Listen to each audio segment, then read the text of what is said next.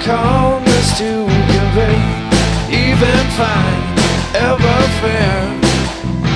Wait, and then they'll see